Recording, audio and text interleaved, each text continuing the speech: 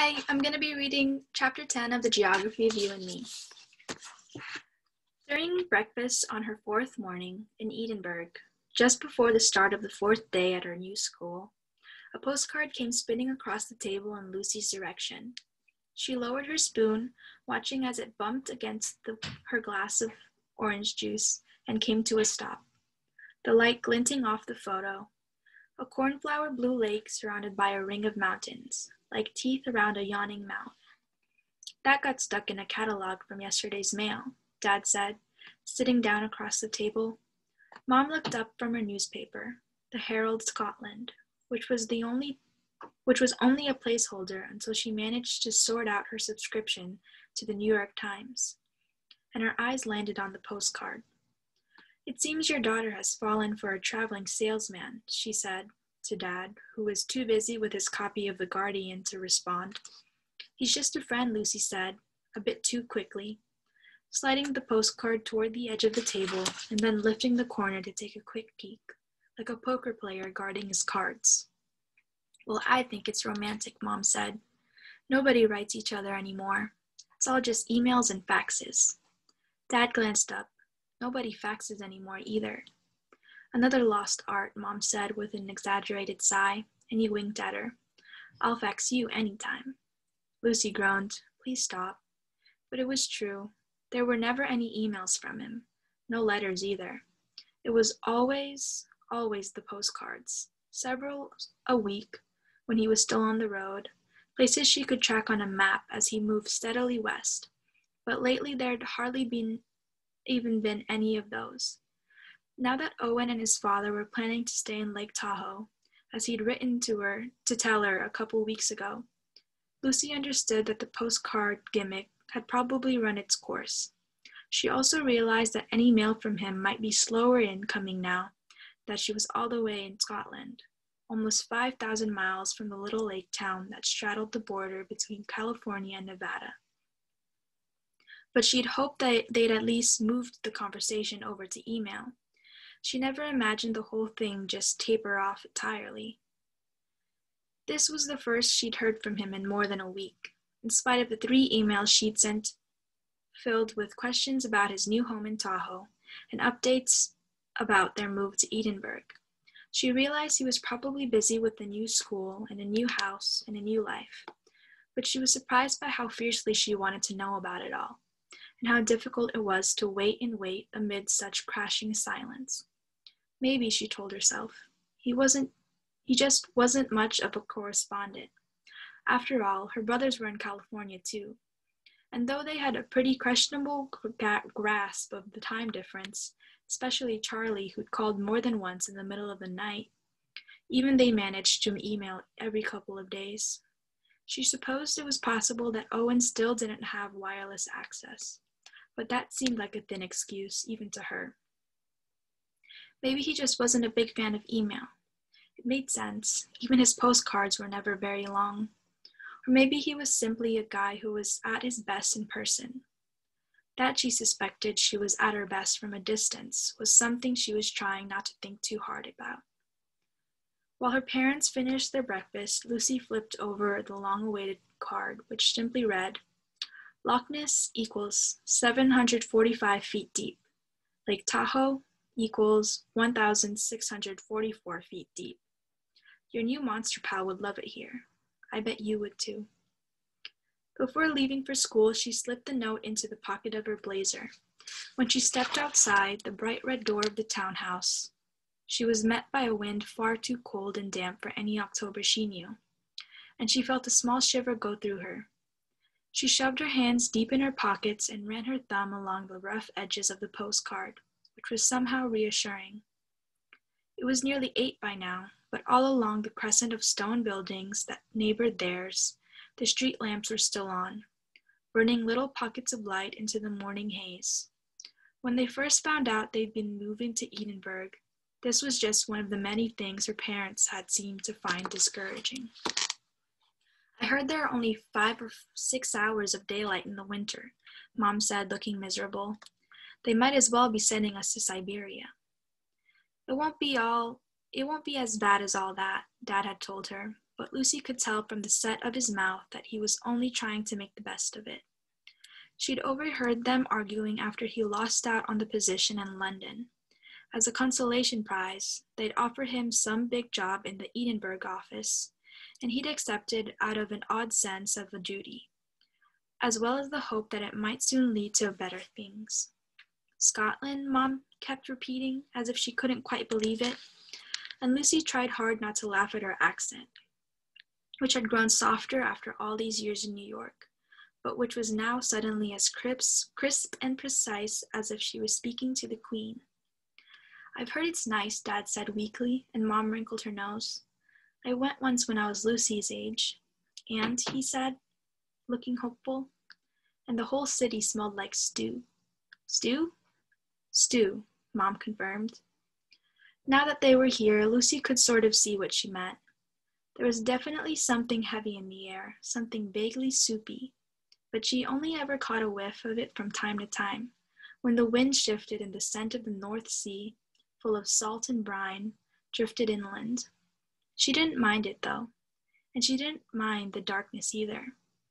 Just as sunshines and clear skies suited beach towns, the constant rain and perpetual clouds suited Edinburgh, with its stone buildings and churches, its uneven cobblestone streets, and the enormous castle that sat high up above it all. There was something utterly romantic about it, as if you'd fallen straight into a fairy tale. When she reached the Princes Street, Lucy waited for the bus beneath the gaze of the castle, a fortress of stone perched on a cliff above the gardens that separated the old section of the city from the new one. When the bus arrived, she was lucky to find a seat, shouldering in between two women in woolly jackets who proceeded to talk about her in nearly indecipherable accents. On her first day, Lucy had brought along her old copy of The Catcher in the Rye, clinging to that small piece of New York as she rode through the unfamiliar city but halfway there she lowered it to watch the buildings whip past the windows, and she hadn't picked it up since. There was too much to see. Her school was all the way across town, tucked just behind a huge rounded hill that rose between the city and the sea. The sun had climbed higher now, pushing through the fog so that the world had turned from gray to gold. And when the bus hissed to a stop across the street from the school, Lucy stepped off behind a cluster of younger students, all of them chattering away as they hurried through the gate. She wasn't sure exactly what she'd been expecting when she first arrived. She'd been kidding about the kilts and the bagpipes in her email to Owen, but there was still a little part of her that half expected to be greeted by a bunch of red bearded, plaid wearing, whiskey swigging classmates. As it turned out, though, Scottish schools weren't all that different from American ones, at least not in any of the ways that were important. The uniforms were worse. Knee length skirts and boxy blazers, and the accents of her teachers forced her to pay close attention, straining to find something recognizable all inside all those rolling R's and twisted vowels. But the students were pretty much the same. The boys played rugby instead of football, and everyone talked about sneaking their parents' whiskey instead of their parents' beers on the weekends. But these were all small things. The only real difference, the only big difference, was Lucy herself. She realized it on the very first day when she managed to get lost. The headmaster had walked her to registration and left her with a faint photocopy of a school map, which she'd promptly misplaced. So after the first bell rang for the first period, and the halls empty, emptied out with impossible speed, she was left standing there with no clue where to go and no one to ask for help. It wasn't until she wandered around the corner that she found someone. He was standing at his locker, leisurely reaching for his books in no particular hurry, despite the empty halls. And Lucy knew right away that she would have absolutely avoided someone like him back home. He was tall and broad shouldered, with dark hair and an angular jaw, too. Too handsome to seem approachable. But it was more than that. There was something completely effortless about him, a casual confidence that was unnerving, even from a distance, even without having met him yet. He was the type of guy who could who couldn't ever be invisible, even if he tried. Hey, she said, walking up to him. Can you help me find my math class?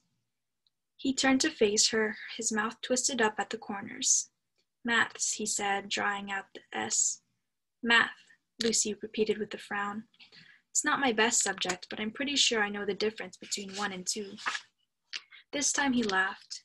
Here we call it maths, he told her, reaching for the schedule in her hand and scanning the page. And you're on the wrong floor. Ah, she said, her cheeks burning. Thanks. No bother, he said, clearly amused, then shut his locker door. See you later. Yeah, she said, maybe in histories or sciences. He squinted at her, but when he realized she was only joking, his face broke into a grin. Or lunches, he said, raising his eyebrow as he walked away. Standing there alone in the hallway, she couldn't help smiling. For the first time in her life, she realized there was no hope of blending in. Here she was the one that was different. She was the one with the accent, the new girl, the object of curiosity, and to her surprise, she found she didn't mind. Maybe this is why Owen had been so desperate to travel, why she longed it for herself without even really knowing why. It wasn't just that you got to be somewhere else entirely, it was that you got to be someone else entirely too. Now, as she made her way through the huddles of the students, many of them flashing unnervingly friendly smiles in her direction, she saw him standing at her locker. Already, in such a short amount of time, this had become a habit of sorts. Later on her first day, just after the fourth period, he'd found her wandering again, and this time he escorted her to class. When the bell rang at the end, she was surprised to once again find him waiting just outside the door. It would be an awful shame if you got lost and missed lunch, he said with that blinding smile of his. And Lucy let, her, let herself be led to the dining hall. She waited for him to introduce himself, and when he didn't, she finally stuck out her hand a little awkwardly. I'm Lucy, by the way, she said, and he, his eyes shone with laughter as he regarded her outstretched hand. I know, he said, taking it in his and giving it an exaggerated shake. How? Everyone knows, he said. We don't get a lot of new kids here, especially not Yanks. Oh, she said, her cheeks hot. And you are? Liam.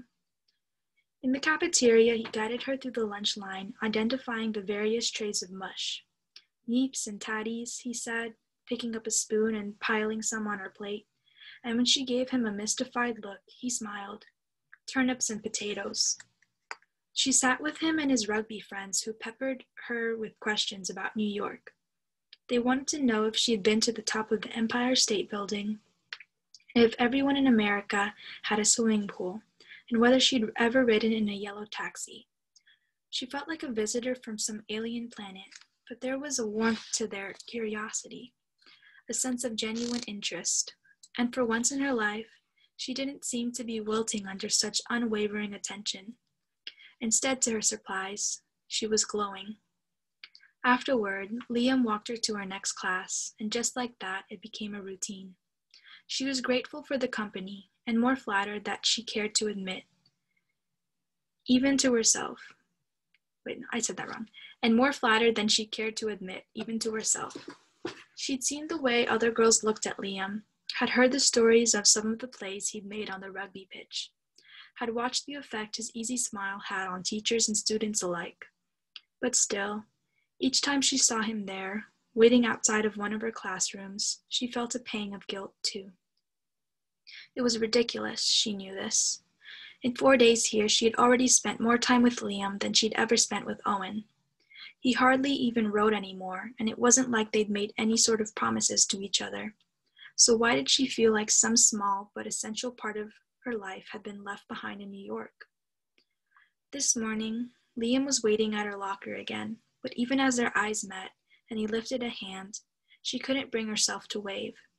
Instead, she felt around in her pocket for the postcard, tracing the edges, a portable reminder of Owen. I have an idea, Liam said as soon as she was close enough.